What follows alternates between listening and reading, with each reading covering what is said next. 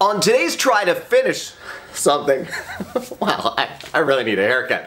I'm just seconds into this and I am already on a tangent. Today on today's try to finish something, I am going to try and make something that I haven't made before. You've seen a ton of people make some amazing Star Wars wall panels as seen inside Galaxy's Edge. I'm trying to make a big project that is going to be inspired by the Rise of the Resistance inside Galaxy's Edge. They have these ammo containers that have weapons inside of them, like weapons racks. And I'll, I'll show you a little bit of footage here. This is me cutting a propane cage tank in half. And I was wearing goggles most of the time, but I thought it didn't look cool and for some reason I thought the squinting as the sparks were going all over my face looked better than with the goggles on. Wear goggles if you're using a tool to cut a giant thing that is metal in half and spraying sparks in your face. Let's let's try and save your eyes. I actually did wear goggles most of the time, but what this is going to be is a storage locker for weapons that I've been accumulating. Some blasters and grenades and a bunch of stuff that I want to put inside of this. And I want to decorate the outside of this once I finally get it cut in half and made to look Star Wars.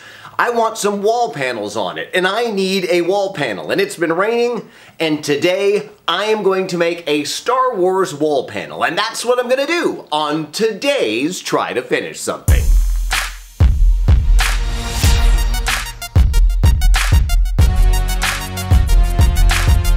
So I am building my first wall panel for my Star Wars themed room and I'm going to answer some questions that I got online like how and why I make these videos.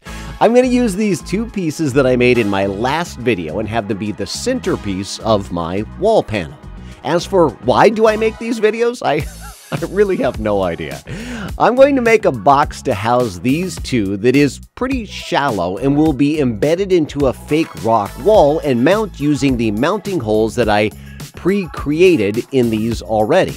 As I make this, I'm going to try and give some details on how I make my videos. I have this overhead camera that is also my main voice recording, picking up whatever random tangents I wind up going off on. I actually have people that want more stories and more tangents. We call those people mentally deranged. But this overhead camera mic gets all of it. And what I also wind up doing is recording some voiceover after the video that weaves together all of my crazy.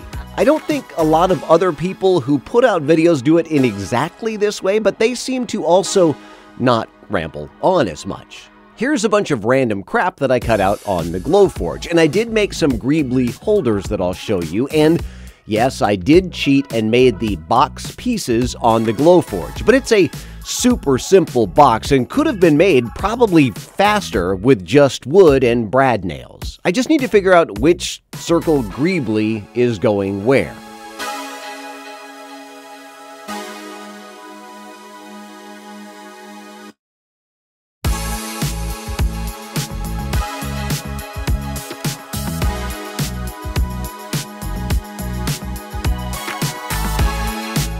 Let's put this box together and go into some more of how I make these videos, and yes, ramble.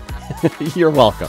I'm just putting this together with super glue. And I've mentioned that I did do morning radio for 18 years, and then I started my own in store music company that I did for eight years until I sold it, and then worked for the company that I sold it to until they fired me. The first time I was ever fired in my entire life. I now work for another in store music company that used to be one of my company's competitors, and I run their audio department. Yes, if you follow that path, I am working for a company trying to take all of my old clients and bring them to a new, better company. And they can go back to working with me.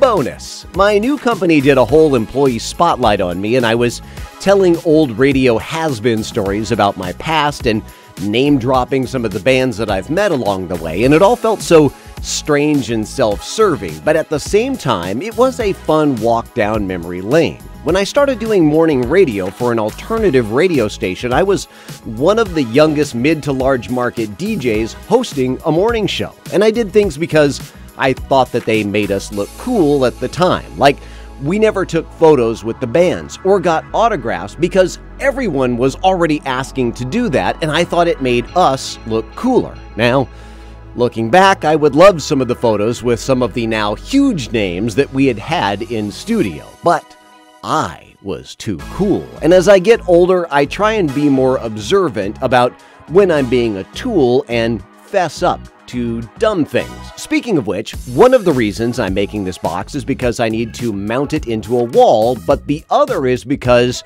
I'm playing around with some design ideas because I am a failure.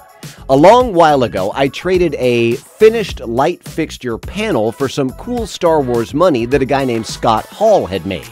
He sent the handmade metal Star Wars money, and I was actually never really satisfied with the light cover design, and I never sent him that light cover. See? Failure.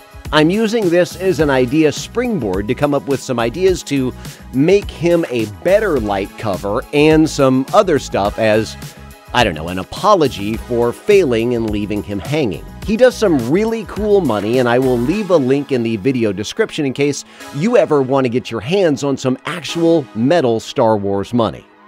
Sorry, I'm just trying to decide if it's easier to put the glue on the sides of the box or the part that slides in. But I am going to need more than just these two Greeblies. It will have a lid to add some dimensionality and interest to the wall panel, but I need to get it filled with all kinds of fun stuff. So recently I talked about the neighbor that I have that set my entire property on fire. He burned my solar, the barn, the boat, just a ton of stuff. But me, trying to find the bright side, pulled these out of the charred remains of my solar panel fuse boxes. They've got a cool, almost Mando bullet like look to them, and I'm going to try and design a holder that these can just snap into and become interior greeblies to this box. I'm just using some mineral spirits and a popsicle stick to get the stickers off of these.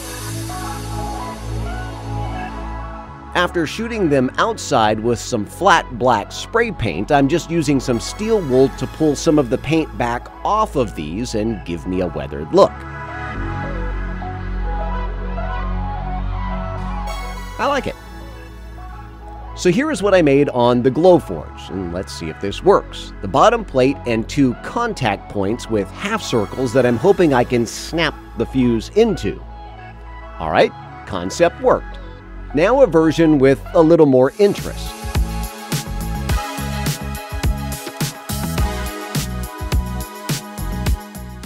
That worked too.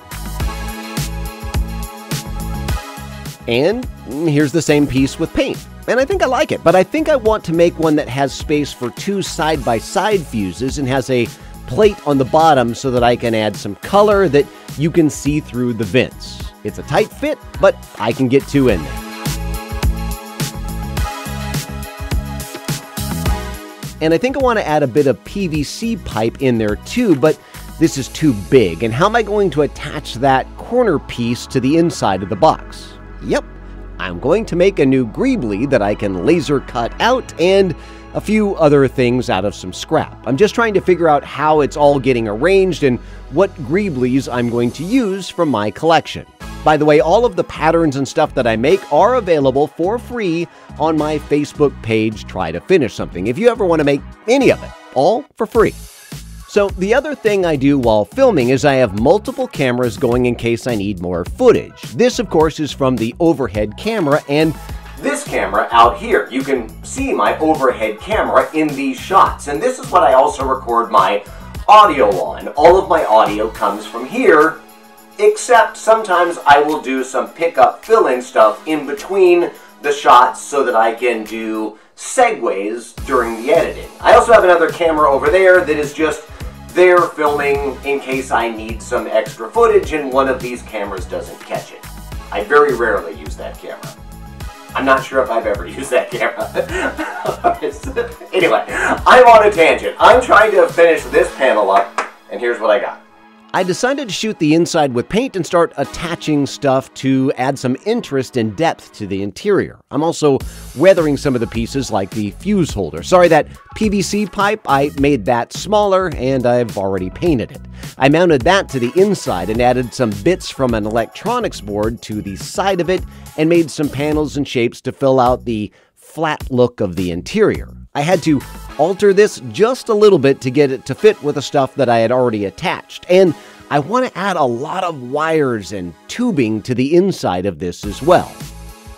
I painted that gray and it has mounting holes for another old Greebly that I have. This wire harness from the telephone operator cord board that I harvested for Greeblies, I don't know, almost two years ago. And now weathering all of this again.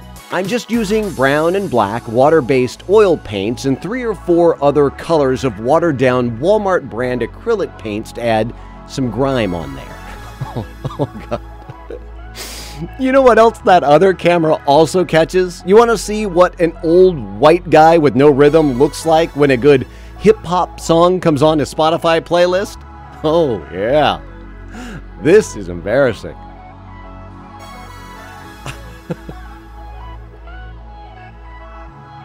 So I am just clipping wires and finding places to attach them so that they look like they have a purpose. And I I might need to stop filming on that camera. Now the lid. I have a Facebook friend group that includes Jamie Dull and he lives near what I can only call nerd heaven, some place called Surplus Gizmos and when he goes, he offers to pick up and ship things if we see things that we like during our nerd FaceTime calls, and he found this multi pronged plug, and I wanted to feature it on the lid. I'm just attaching that and adding some rust and weathering to the black parts of this lid. I'm also adding some ribbed tubing to the interior of the wall panel to add more to fill up the inside. Oh, yeah, so I spent a week installing sprinklers in my wife's horse pastures, and it was backbreaking, digging, and then filling trenches and putting in sprinklers. The upside?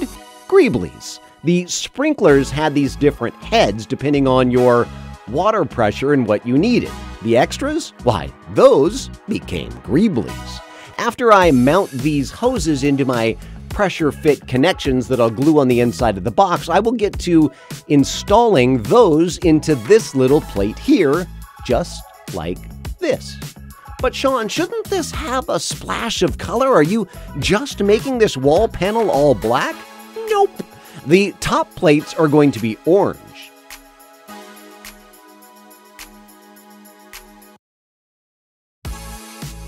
Now, to weather that plate, and weather some of the tubing below, and attach the other orange plates with the mounting screws and weather those. Just adding a little bit of chipping on the paint, scratches, and some general grime.